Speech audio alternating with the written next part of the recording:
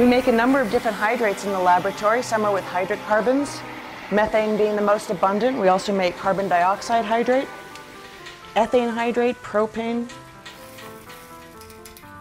a number of different structures.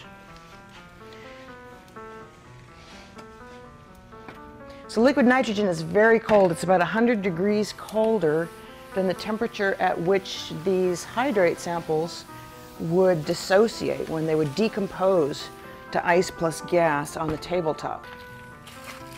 In here we have a little piece of methane hydrate. It's enclosed in a soft metal jacket.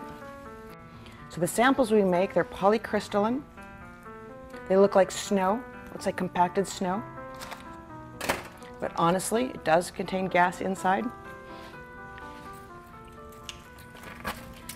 Take a little piece off here, and as it warms up, you'll begin to see it pop. It's reverting to ice plus gas, and then as the ice would melt as it continues to warm, it'll uh, end up being water plus gas. So this will form anywhere you have water and gas at moderately low temperatures or high pressure. My name is Steve Kirby. I'm a geophysicist here uh, with the U.S. Geological Survey in Menlo Park. I work with Laura Stern, who's also a geophysicist in this lab that is devoted towards the investigation of planetary ices and gas hydrates. Gas hydrates in nature occur in very remote places and they are very complex uh, with the sediment interactions and the conditions that they form under and samples that are brought up are under some sort of alteration or decomposition.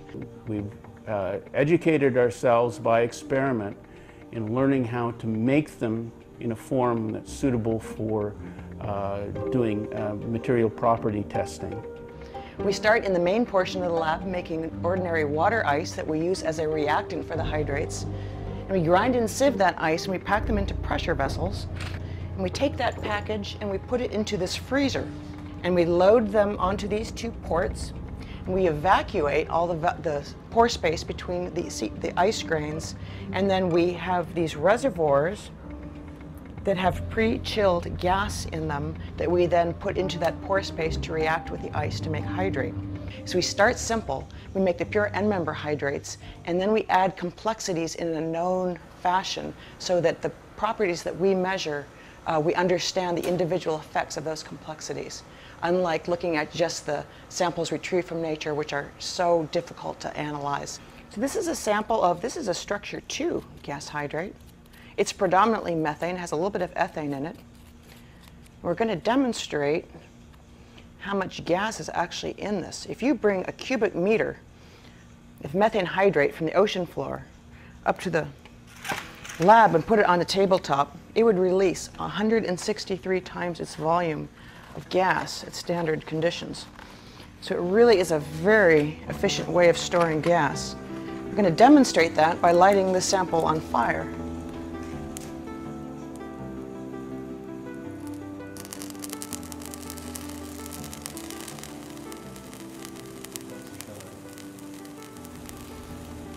So it's decomposing to ice plus gas. The gas is flaming and the, the ice will soon just melt up water. And you can see it's not just a pile of snow that I was showing you. Uh, they contain abundant amounts of natural gas. This natural gas is thought to be a significant potential uh, resource for our energy needs uh, later in this, uh, in this century. This is a gas hydrate from the Cascadia margin. So this is a natural hydrate. It's brought up from the ocean floor.